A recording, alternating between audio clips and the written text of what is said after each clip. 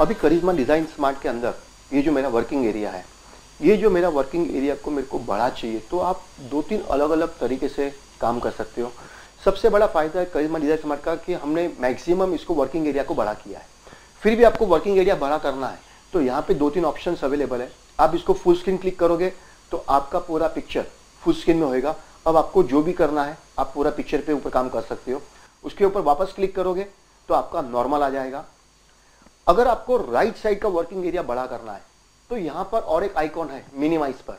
उस पर आप जैसा क्लिक करोगे तो आपका राइट का साइड का आइकॉन मिनिमाइज हो जाएगा और आपका वर्किंग एरिया बड़ा हो जाएगा। अगर आपको वापस लेके आना तो वापस उस पर क्लिक कीजिए, आपका वापस आ जाएगा। यहाँ पर आपको बॉटम लाइन का वर्किंग एरिया बड़ा करना है तो यहाँ पर स्विच है मिनिमाइज करके। जैसा मिनिमाइज किया तो आपका बॉटम साइज़ का आपको वर्किंग एरिया बड़ा मिलेगा। वापस लेके आना है तो आप वापस लेके आ सकते हो। यहाँ, आप यहाँ से आप मैनुअल भी आप कम ज़्यादा वर्किंग एरिया आपके हिसाब से सेट कर सकते हो। इस तरह अलग अलग तरीके के वर्किंग एरिया आप मैग्नीफाई कर सकते हो।